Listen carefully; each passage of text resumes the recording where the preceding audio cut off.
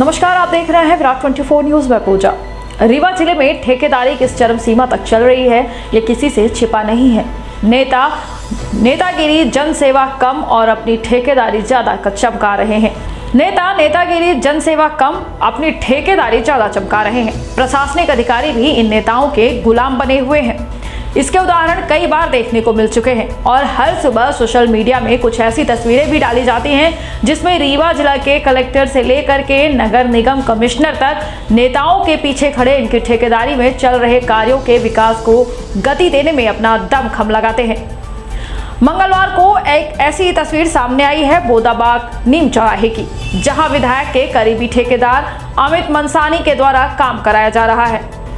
सर्वविदित है कि डामर जमने से पहले अगर पानी पड़ गया तो वह रोड कतई सफल नहीं हो सकती। लेकिन ठेकेदार की मनमानी, तिजोरी भरने की लालसा और राजनीतिक प्रशासनिक संरक्षण के चलते भारी बारिश में भी डामर से सड़क बना रहा है। अजगरहा रोड में जिस तरह से सड़क निर्माण हो रहा है, उसे देखकर आप स्वयं अनुमान लगा सकते हैं कि सिर्फ़ खाना पूर्ति कर बिल पास कराने के लिए उक्त ठेकेदार कार्य कर रहा है। भारी बारिश में डामर से बनाई जा रही सड़क दिसंबर के अंत में हुई बारिश में बह गई और जो बची है, वह सूखते ही वाहनों के पहियों से चिपक कर चली जाएगी। आप खुद देखिए और अनुमान लगा लीजिए कि रीवा में विकास की गंगा किस तरह से बह रही है। आप इसी से अनुमान लगा लेंगे कि भारी बारिश में डामरीकृत सड़क बनाकर किस तरह से जनता की गाड़ी कमाई अपनी तिजोरी में भरी जा रही है।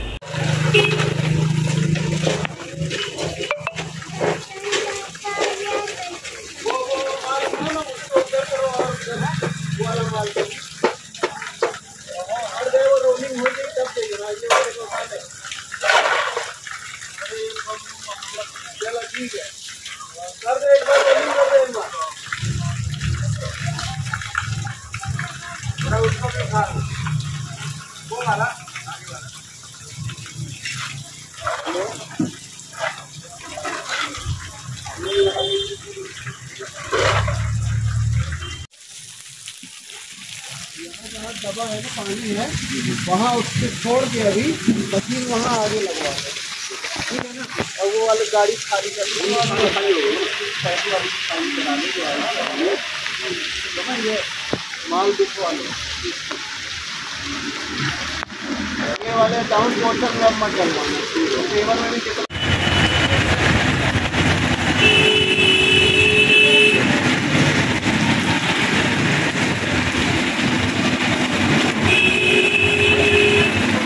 इस भारी बरसात में डामरीकरण होते हुए रोड। आप ही बताइए कितना मज़बूत होगा यह कार्य। औपचारिकताएँ औपचारिकताएँ और सिर्फ़ औपचारिकताएँ की जा रही हैं।